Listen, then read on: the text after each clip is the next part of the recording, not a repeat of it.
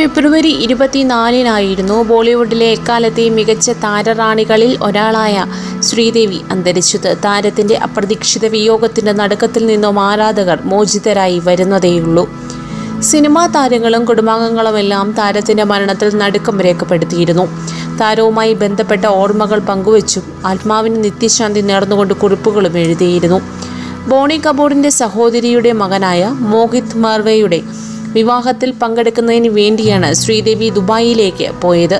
വിവാഹ ചടങ്ങുകൾ കഴിഞ്ഞതിന് ശേഷം ബോണി കപൂറും ഖുഷി കപൂറും തിരിച്ച് മുംബൈയിലേക്ക് പോരുകയായിരുന്നു. സഹോദരി ശ്രീലതയ്ക്കൊപ്പം നിൽക്കണമെന്ന് പറഞ്ഞാണ് ശ്രീദേവി ദുബായിൽ തന്നെ തുടർന്നത്. ഇതിനിടയിൽ ശ്രീദേവിയെ അത്ഭുതപ്പെടുത്തുന്നതിനായി ബോണി കപൂർ തിരിച്ച് ദുബായിലേക്ക് എത്തിയിരുന്നു. ശ്രീദേവിയുടെ മരണവുമായി ബന്ധപ്പെട്ട പലതരത്തിലുള്ള വാർത്തകളായിരുന്നു പ്രചരിച്ചത്. ഇതുവരെയായിട്ടും സഹോദരി ഇക്കാര്യത്തെക്കുറിച്ച് പ്രതികരിക്കാത്തതിനെക്കുറിച്ചുള്ള ചർച്ചകളാണ് ഇപ്പോൾ സോഷ്യൽ മീഡിയയിൽ അരങ്ങേറുന്നത്. ശ്രീദേവിയുടെ സഹോദരിയായ ശ്രീലത ഇതുവരെ വിഷയത്തെക്കുറിച്ച് പ്രതികരിക്കാത്തതിനെക്കുറിച്ചുള്ള ചർച്ചകളാണ് ഇപ്പോൾ സോഷ്യൽ മീഡിയയിലൂടെ നടക്കുന്നത്. ബോണി കപൂറും ജാൻവിയും ഖുഷിയും അടക്കം ശ്രീദേവിയെക്കുറിച്ചുള്ള കുറിപ്പുകൾ സോഷ്യൽ മീഡിയ അക്കൗണ്ടുകൾ പോസ്റ്റ് ചെയ്തിരുന്നു. ശ്രീദേവി മരിക്കുന്നതിന് ഏതാനും മണിക്കൂറുകൾക്ക് മുൻപ് വരെ ശ്രീലതയും ഒപ്പമുണ്ടായിരുന്നു. എന്നിട്ടും എന്താണ് നിശബ്ദത തുടരുന്നതെന്ന സംശയമാണ് ആരാധകർ ഉയർത്തിയിട്ടുള്ളത്.